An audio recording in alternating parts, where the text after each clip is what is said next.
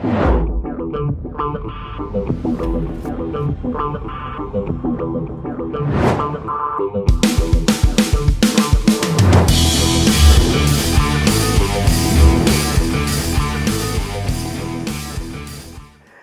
what's up? Todd Falcone here. Welcome back to toddfalcone.com. This uh, particular question came up recently, actually, on one of my Monday night calls, and that is what happens when you've talked to somebody about your, your opportunity and they join somebody else?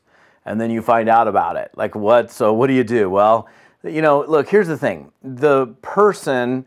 Uh, you don't have rights to. I want you to understand something really clearly. Just because you talk to somebody first doesn't give you any rights to them, okay? Now, they get to choose who they want to work with, regardless of whether you were the first person to share that company, share that opportunity with someone, and they decided to go hunt around, or maybe six months later, somebody else said, Hey, you know, I'm doing this, and they knew that you had already introduced it to them. They don't have to go back to you and say, Hey, I talked to this person. Um, so this is like this is one of those weird political things that goes on in network marketing that you'll definitely, absolutely have to deal with. Uh, here's the thing you do your best to represent yourself in a manner that would cause somebody to want to join you. They're like, hey, I want to do business with you because you're committed, you're fun, you're cool, you're, you're somebody that I, I feel that can help lead me in, in the direct. You're showing through all the ways that you've worked with me that you're definitely somebody I want to partner with.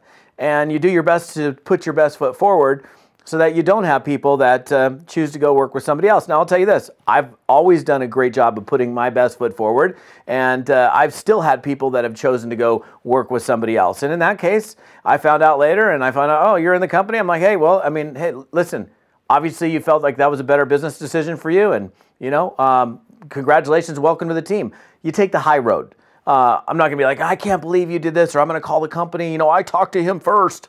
I've seen crazy stuff like this, and all you're doing is creating unnecessary drama. Sometimes they're gonna fall in your court, and sometimes they're gonna fall in somebody else's court. You're gonna have the exact same same thing happen opposite, where somebody else has talked to them first, and then you end up having a conversation with somebody, and they join you, and then so the tables have been turned. So always take the high road, and you'll be much better off be nice, be cool, don't panic, don't freak out.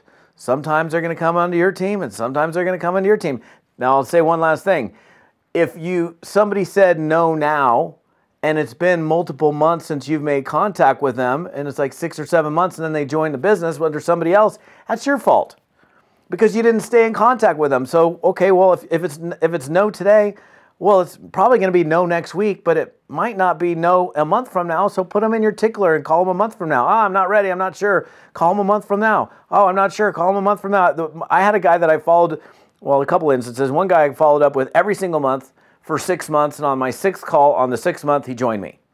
I had another person that I had followed up with for five and a half years from first point of contact to finally enrolling in my business. I didn't call him every single month, but I stayed in contact with him for five and a half years. But I stayed consistent in my follow up, even when they said no and they weren't ready. So that will help you as well in terms of somebody not joining somebody else. But even when you do that, it's going to happen. So that's it for today, my friends. Todd Falcone here. Have an amazing day. We'll see you in another video. Thanks for watching.